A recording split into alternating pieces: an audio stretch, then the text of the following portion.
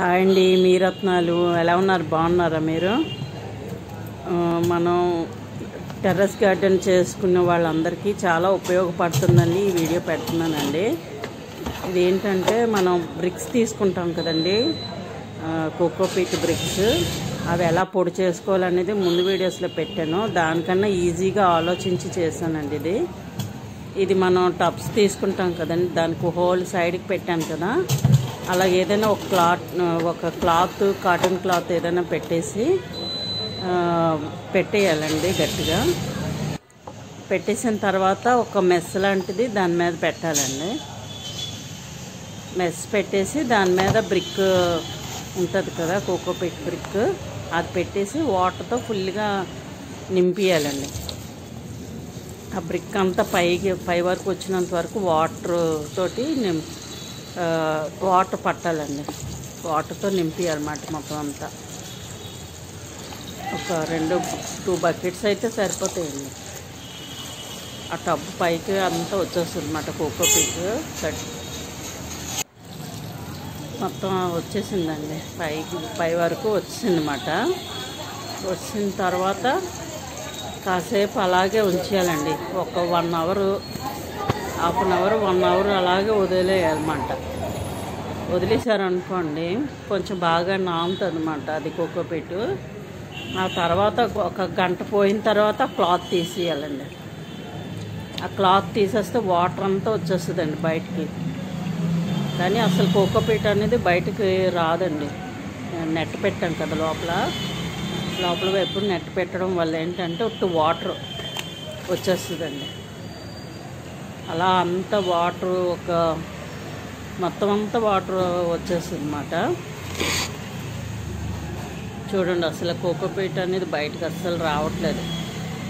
ఆలోచించానండి easy process ఏమోనా ఉందేమోనని ఆలోచించాను అనమాట first వీడియోలో పెట్టింది కొంచెం కష్టం అనిపించింది. అప్పటికి తెలియదు ఆలోచించి చేశాను అనమాట ఎలా చేస్తే ఈజీగా అవుతుంది? గార్డెనింగ్ చేసిన వాళ్ళకి ఈజీ ప్రాసెస్ ఉండాలి కదండి. అప్పుడే మనం ఈజీగా ఏదైనా చేసుకోగలమని చెప్పి ఇది ఈ వీడియో పెట్టానండి. ఆలోచన రాగానే చేశాను అన్నమాట ఇది. చూడండి వన్ అవర్ వదిలేసిన తర్వాత వన్ అవర్ క్లాత్ తీసాం కదండి. వాటర్ అంతా పోయింది మొత్తం అంతా చూడండి ఎంత పొడి పొడిగా అయిపోయిందా. అసలు వాటర్ అంటూ లేదండి. ఇప్పుడు ఇది ఏంటంటే మొత్తం మనం పశువుల వేరు కొక్కు మట్టి అన్నీ కలిపేసి మొక్కలకి వేసేసుకోవచ్చండి. చాలా బాగుందండి. అస్సలు వాటర్ అంటూ లేదు ఇలా అయితే. ఒకసారి ట్రై చేసి చూడండి. మనకి అందరికీ బాగా చాలా బాగా ఉపయోగపడుతుందండి ఇలా చేస్తే. ఈ పద్ధతిలో మీరు చేయాలని ఈ వీడియో పెడుతున్నానండి. తర్వాత కొన్ని విత్తనాలు తీసుకున్నానండి.